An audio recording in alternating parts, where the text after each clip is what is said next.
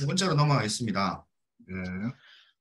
신체 증상을 호소한다라고 하는 분들이 있으며, 뭐 예를 들면 아, 숨 쉬는 게 답답해요. 아니면 심장에 쪼져오고 숨 심장으로 타고 목으로 올라가고 목이 되게 뻣뻣해요. 어, 그 이유에 대해서 물어보면 빙의해야 된 것 같아요. 아니면 누가 내 몸을 조종해요. 숨 쉬는 게 답답하다. 이것은 호흡을 누가 나, 내 호흡을 뺏어가요. 아니면 보이지 않는 사람 내 산소를 줄여갖고 이제 제가 질식하는 것 같아요. 라고 얘기를 하거나 어, 운동을 안 하고 많이 이제 좀 잠을 많이 자니까 뱃살이 나오는 거예요. 배가 나오는 거니까 이건 나, 내가 다이어트를 안 하거나 많이 먹어서는 생각을 못하고 배가 나오니까 임신을 한 것 같아요. 뱃속에서 뭔가 태동이 들려요. 이런 얘기를 한 것도 있고 또 흔하게 머리 한쪽이 되게 아픈데 이 영혼이 계속 빠져 들어갔다가 나왔다가 하는 것 같아요. 라고 이제 호소하는 실제로 신체 증상을 호소하시는 분들이 있거든요. 그거 같은 경우에는 왜 그렇냐라고 하면 우리가 누차 강조를 하지만 어, 조현병이 같은 특히 정신병은 정서가 너무 힘들어서 차단된 상태라고 하잖아요. 그러면 그 정서가 차단됐다라는 말은 실제로 사건이 있든 아니면 내가 그 사건을 기반으로 망상 속에서 또 다른 사건을 만들어내든 그런 상관없이 자극이 들어오면 우리가 세포에서 감각을 느끼고 세포에서 감각을 느끼면 뇌에서 지각을 하고 아 그런 지각을 하게 되면 어, 순간적으로 감정, 뭐 불쾌한 감정이라든지 화가 난다든지 이런 것들을 감정을 느끼면서 뭐 사고에서는 저 사람이 나를 무시하나라고 하는 인식까지 되거든요. 근데 정서가 차단됐다는 말은 이 지각하고 정서화된다라는 것들이 잘 안 된다는 거예요. 그러면 지각하고 정서가 안 되면 자극이 들어왔었을 때 감각, 피부에서 느끼는데 그게 어떤 느낌인지 모르고요. 이게 상징화되지 않고 어떤 시, 어, 정서화되지 않고 마치 통증처럼 되게 불쾌하고 애매한 그냥 감정 같은 걸 몸에 둥둥 떠다녀요. 그리고 어, 그게 아니라면 되게 애매모호한 감정, 그냥 막연한 불안함 같은 것으로 이제 그냥 남는단 말이에요. 그럼 이 불편하거나 불안한 감정들이 계속 뭔가 쌓이면 그 이걸 해결해야 되잖아요. 이유를 알아야지 이 불안함이 가실 건데 내가 어, 지각하고 정서화하는 것들이 잘 안 되니까 바로 사고로 넘어가는 거죠. 근데 어떤 사고냐 하면 상상의 사고인 거예요. 망상으로. 상상을 통해서 처리하죠. 아, 이게 왜 그렇지? 라고 했을 때, 아, 누가 내 호흡을 뺏어가는 게 분명해. 빙의가 된 게 분명해. 임신을 했, 했다는 게 맞는 것 같아. 어떤 근거가 없고 생각으로 이걸 해결한다는 거죠. 영혼이 빠져나갔다는 거. 이렇게 처리를 하는데, 그러면 이것을 어떻게 해결할 것이냐라고 하면 일단은 일반적인 호소와 진짜 실체 신체 증상들을 구분해야 돼요. 구분해야 되고 우리가 신체 증상을 일으킨다는 것은 감정 안에는 연결된 사실은 정서들 자기들은 느끼지 못하지만 어떤 깊은 감정들이 있어요. 죄책감을 느낀다. 아니면 뭔가 불안하다. 화가 난다. 이랬을 때는 화병이나 화병이나 신체적으로 화병이 나면 몸이 아프죠. 잠이 안 오죠. 어, 불안하게 되면 신경을 많이 쓰게 되니까 설사를 하던가 아니면 심장이 쪼는 거죠. 죄책감 같은 게 있었으면 몸이 아프거나 몸살이 나거나 아니면 뭐 여러 가지 신체 증상을 호소하는 경우가 되게 많거든요. 그럼 이럴 때 어떻게 해야 되냐? 첫 번째는 일단 확인 작업들이 들어가야 돼요. 이게 진짜인지 아닌지. 본인은 진짜라고, 신체는 진짜라고 느끼거든요. 하지만 병원에 가서 검사를 해보면 질병이 없다라고 분명히 나올 거예요. 그러면 교차 검증을 하셔야 돼요. 두세 곳 정도 가셔서 두세 곳에서도 공통적으로 이상이 없다라고 하면 1차적으로 아, 내 몸에 진짜 병은 없구나라는 것이 인식이 되면 1차적으로 불안이 조금 떨어져요. 그 다음에는 촉발 사건이 될 만한 것들, 우리가 아까 뭐 감각을 경험했든 아니면 뭐 여러 가지 증상을 하든 일단 중요한 건 항상 그거는 스트레스를 발생하는 촉발 사건들이 있어요. 그것을 어, 대화를 통해 가지고 뭐 때문에 몸이 아픈 것인지에 대해서 어, 찾아야 되고요. 그 다음에 관계적인 부분이 틀어져 있으면 관계적인 부분들이 틀어져 있으면 실제로 몸이 아, 아픈 경우 있어요. 불신하고 못 믿겠고 그럼 불안하고 누가 나를 해칠 것 같고 우리가 몸이 24시간 불신한다는 말은 24시간 누가 나를 해칠지도 모른다라고 해서 긴장을 하고 있었다는 거거든요. 긴장. 우리가 릴렉스 되고 몸이 풀어질 때는 풀어져 있고 긴장할 때는 긴장을 해야 되는데 편집적이다, 이분법적인 사고를 한다, 망상에 빠져 있어서 누가 나를 해칠 것 같다, 뭔가 불신하고 못 믿겠다라는 것은 언제 내가 피해를 당할지 모른다는 피해 망상이 있다는 것은 결국은 내가 늘 긴장하고 불안해 있어야 된다는 거예요. 그러니까 몸이 탈이 나는 경우가 되게 많죠. 그렇기 때문에 관계적인 측면에서도 안정감을 가질 수가 있는가. 특히 가장 가까운 아이가 엄마 품에서 편하게 노곤히 잘 수 있는 어떤 그런 상황이 되는가. 믿을 만한가. 엄마마저 못 믿으면 누가 나를 해칠지 모르니까는 잠을 잘 때도 무의식 중에 꿈속에서도 긴장을 하고 있어요. 그런 어떤 안전한 어떤 장소, 안전한 관계들이 구축되어 있는가를 보고, 어, 그리고 우리가 애매, 여기서 보면 정서화되지 않으면 애매모호한 통증 상태라든지, 어, 불쾌한, 불쾌한 상태라든지, 불안한 상태로 머물러 있다라고 했잖아요. 그럼 구체적으로 얘기를 잘 들어주라는 것을 보면, 그 처음에는 불안하고 불쾌한 애매모호한 어떤 그런 통증이나 불안 상태지만 대화를 하다 보면 그 불안이 뭔지, 불안 안에 핵심이 뭔지, 아, 그래서 겁났다는구나. 그래서 뭐 예를 들면 그 사람이, 가까운 사람이 너를 버릴까 봐서 어, 두려웠다라는구나.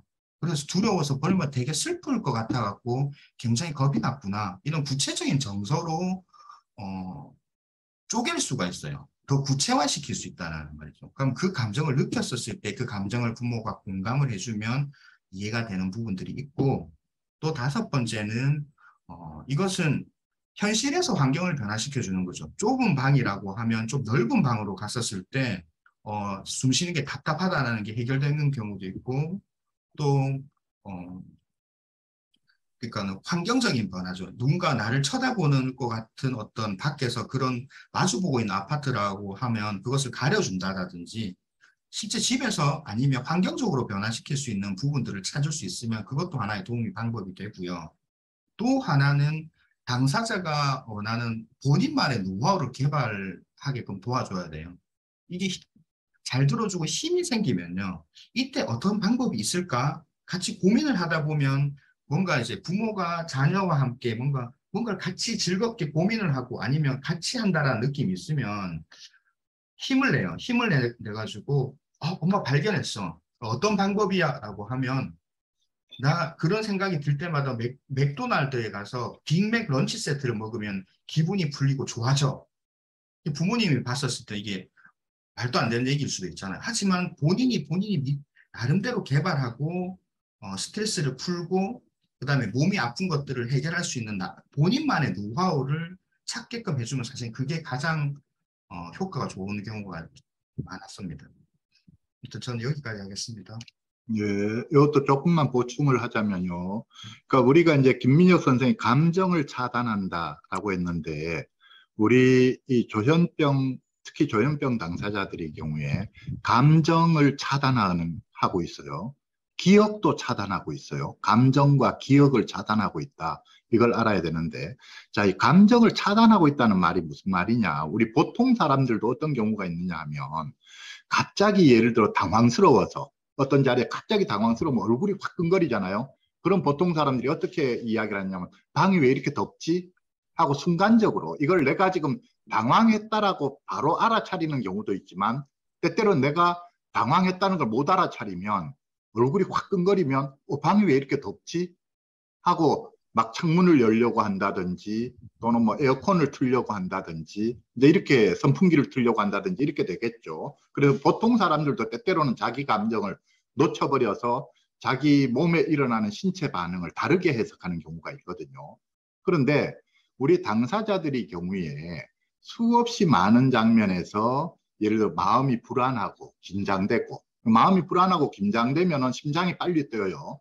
숨은 얕게 쉬어지고 또 아니면 화가 난다든지 이런 상황에서도 심장이 빨리 뛰고 숨은 얕아지죠. 그런데 자기가 감정을 안 느끼고 차단해버리면 제가 볼 때는 우리 당사자들이 저절로 이게 차단되는 게 아니라 저, 저는 그렇게 생각하는데 자라면서 어느 시점에선가 스스로가 결심을 해요. 나는 감정을 안 느낄 거야. 이렇게 불편한 감정 안 느낄 거야. 나는 이렇게 불쾌한 건 기억하지 않을 거야. 그래서 어느 순간인가 감정을 안 느끼기로 결심하고 기억을 안 하기로 결심해요. 그래서 어, 불쾌한 기억 같은 게 떠오르면 바로 생각을 안 하려고 해버리거든요. 이런 현상이 일어나는데 그러다가 보니까 이게 분리가 돼버리는 거죠. 우리 보통 사람들 같은 내 심장이 막 뛰고 호흡이 얕아지고 하게 되면은 이거 하고 아 내가 지금 불안하구나 하는 거를 결부시켜서 아 내가 지금 마음이 불안하구나 생각해서 대책을 세우고 또 아니면 아 내가 지금 화가 났구나 알아차리고 대책을 세우고 하는데 이게 감정이 차단이 돼 버리게 되면은 자기 감정으로는 아무것도 못 느낀다고요. 무덤덤하고 물어봐요. 지금 혹시 불안해서 그런 거 아닌가요? 아니요, 저 불안하지 않아요. 혹시 화가 나서 그런 거 아닌가요? 저 화, 화나지 않았어요. 이렇게 되거든요. 그런데 자기가 호소하는 건 심장만 뛴다는 거예요. 내 심장이 지금 너무 빨리 뛰니까 계속 매일처럼 심장이 빨리 뛰는 걸 보니까 나는 혹시 심장에 지금 무슨 문제가 있는 게 아닌가? 그러니까 부모한테 어떤 심장에 문제가 있는지 병원에 가보자 이렇게 되는 거죠. 호흡이 너무 얕으니까 내 폐에 혹시 무슨 문제가 있는 게 아닐까? 폐를 검사받으러 가자는 거죠. 그 다음 또 몸이 또 긴장이 되면 우리가 흔히 보통 사람들도 목하고 어깨는 많이 긴장돼요. 우리 옷걸이 부위. 목하고 어깨가 보통 많이 뻣뻣해지는데 우리 당사자들이 긴장을 많이 하게 되면 팔도 아프고 다리도 아프고 이래요. 그런데 자기는 이걸 아 내가 긴장을 많이 해서 그렇구나 불안해서 그렇구나 이렇게 되면 팔 아프고 다리 아픈 거를 불안해서 그렇다라고 해석을 할 텐데 그게 아니라 자기는 나는 불안하지 않아 긴장하지 않았어 하게 되면 팔이 자기가 생각할 때 이유 없이 팔이 아픈 거예요. 그러니까 이 팔이 계속 매일처럼 이유 없이 아프니까 내 팔에 분명히 지금 뭐가 문제가 생겼다. 그러니까 팔을 이걸 문제가 있나 없나 진료를 받으러 가야 되겠다. 이렇게 되거든요. 그래서 우리 이 조현병 당사자들 중에 처음에 병이 올 때 몸 아픈 걸로 병이 오는 친구들이 되게 많아요.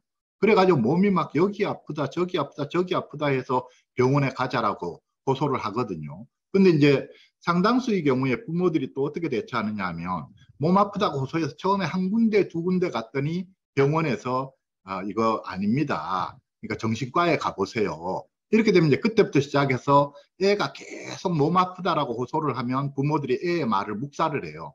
너는 정신과에 가야 된다. 정신과에 가자라고. 애는 내가 왜 정신과에 가야 되느냐. 난 몸 아프니까 뭐 다른 과를 가야 되겠다. 뭐 별의별 과를 다 이야기해요. 환청 같은 거 들릴 때도 이명 같은 거 들리고 하면 애들 이비인후과에 갈라 그래요. 귀에 지금 뭐가 문제가 생겼다. 이래서 그러면 제가 하는 이야기가 뭐냐면 애들이 병원에 검진을 받으러 가고자 하면 아닌 걸 알면서도 10군데, 20군데, 30군데 병원을 다녀주라는 거예요. 아닌 걸 뻔히 알면서도. 그 자기가 힘든 거에 그 말에 귀를 기울여 줘야지 되죠. 내가 심장이 쫙 뛴다. 심장에 문제가 있는 것 같다. 하면은 한 군데, 두 군데, 세 군데, 네 군데 심장 진료를 받으러 다녀야 되는 거예요. 자기가 무수히 다녀보면서 자기가 여기 가도 결과가 안 나오고 저기 가도 결과가 안 나오고 저기 가도 결과가 안 나오면 자기 스스로 그럼 이거 도대체 왜 그렇지? 이렇게 돼서 이제 가거든요. 그렇게 자기가 쭉 가는 대로 따라가셔야 돼요. 자기가 가는 대로 따라가셔야 돼요. 저는 심지어 어떤 이야기 하느냐면 애들 중에는 자기 스스로 굿해달라고 하는 애들이 있어요. 그럼 집에서 굿도 해주라는 거예요. 점집에 가겠다는 애들도 있어요. 점집도 따라가 주라는 거예요. 그런 식으로. 그렇게 이제 해서 하는데 그러면서 차차 이제 뭐를 해야 되느냐 면 결국은 어느 날인가는 애로 하여금 네가 지금 감정이 차단이 되어 있다는 설명을 해줘야 되거든요.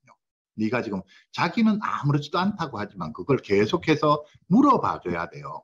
지금 너 화나지 않았니? 아니요, 저 화 안 났어요.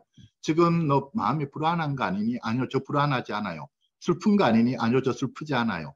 할 때 처음 들어갈 때는 어떤 질문부터 들어가느냐 하면 두 가지 중에 하나. 그럼 지금 마음이 편안하고 좋은 쪽이니? 아니면 마음이 덜 편하고 불편한 쪽이니? 이렇게 되면 애들이 편안하고 좋다고는 안 하겠죠. 편하고 좋지는 않아요. 어, 그 불편하구나. 요렇게부터 시작해서 아 내가 지금 이게 마음이 불편하구나. 처음 애들이 감정을 못 느끼다가 처음에 느끼는 느낌이 불편하다는 느낌이거든요. 그 그게 조금 더 구체화되면 불안으로 느껴요. 모든 감정이 다 불안으로 느껴져요. 화가 나도 불안으로 느껴지고 우울해도 불안으로 느껴지고 다 불안으로 이게 이거는 지금 상세와 세분화가 안 된 거거든요. 그래서 이제 처음에 애들로 하여금 지금 마음이 편안하니 불편하니 부터 시작해서 마음이 불편해요. 하면은 혹시 마음이 불안한 거니? 그래서 이렇게 하면서 마음이 불안해요. 계속 마음이 불편하다, 불안하다만 하는데 혹시 지금 슬픈 거 아닐까? 혹시 화가 난 거 아닐까? 혹시 뭐가 아닐까? 그럼 저, 본인은 처음에 아니라 그래요. 아니라 그러면 그냥 넘어가야 돼요. 아, 그렇구나. 근데 그렇게 이렇게 이렇게 해서 결국 우리가 도와줘야 되는 거는 자기가 자기 감정을 차차 차차 조금씩 인식해 나갈 수 있게끔 도와줘야 된다는 거예요. 감정을 차단했어요. 기억을 차단했어요. 그래서 나중에 이제 저희가 상담실에서 상담할 때도 일정한 때가 되면 그거를 원리를 설명을 해줘요. 당신은 어느 순간인가부터 감정을 느끼지 않기로 결심한 것 같다. 어느 순간인가부터 기억을 하지 않기로 결심한 것 같다. 그게 언제부터냐? 언제부터냐라고 물어보면 나와요. 유치원 때 결심했어요. 언제 어떨 때 결심했어요. 하거든요. 그래서 그러면 이제 그 결심을 풀어야 된다. 감정을 느끼지 않기로 결심했던 그 결심을 풀어야만 감정을 느낄 수 있다. 기억하지 않기로 한 그거를 풀어야지만 기억할 수가 있다. 감정을 느껴야지만 되고 기억을 기억을 구체적으로 기억을 해내야지 된다. 그래서 그것을 말로 풀어내고 글로 풀어내고 그걸 밖으로 빼내야 된다. 그게 당신 안에 그거를 내가 느끼지 않기로 하고 그냥 차단만 하고 있으면 그건 해결되는 게 아니라 언제까지나 내 안에 있기 때문에 그것 때문에 계속해서 문제가 일어난다. 그러니까 스스로 마음을 돌려라. 마음을 바꿔라. 감정을 느끼겠다고 새로 결심을 하고 기억을 해내겠다고 결심을 해라. 그리고 구체적으로 그렇게 하려면 어떻게 해야 되느냐? 저는 권하는 게 기록해라. 뭐든지 어떤 감정을 느끼면 느끼고 나서 지나고 나서 그걸, 그 감정을 느낀 걸 기록해라. 뭐든지 불쾌했던 기억이 조그만 실말이라도 하나 나오면 아빠한테 혼났었던 유치원 때 혼났었던 기억이 나서 기억이 났어 하면 아빠한테 유치원 때 혼났었던 기억이 났다라고 기록해라. 반드시 기록을 해야만 다음 단계로 넘어갈 더 깊이 파고 들어갈 수가 있다. 기록하지 않으면 다 잊어버리고 지나가요. 뭔가 요만큼 실마리가 조금 나왔었는데 며칠 지나면 까맣게 잊어버리고 지나가요. 그래서 감정도 그렇고 기억도 그런데 차단한 걸 어떻게 풀 수 있느냐 하면 기록을 해야지만 풀어나갈 수가 있다. 기록하고 그걸 딴 사람한테 말로 표현하든 또는 자기가 혼자서 표현적 글쓰기든 무슨 글쓰기든 간에 더욱더 생각날 때마다 자세히 기록하는 그거를 할 때 이게 풀어날 수가 있어요. 그래서 이제 아무도 김민혁 선생이 몸 아픈 사람들의 예를 들었는데 감정이 차단되어서 그렇습니다. 맞는 이야기. 감정이 차단되니까 자기는 감정으로 연결시켜서 생각을 못하고 몸에 이상한 느낌이 드는 이것만 가지고 내가 병에 걸렸다. 이렇게 생각을 한다는 거예요. 네. 여기까지 제 보충 설명이었습니다.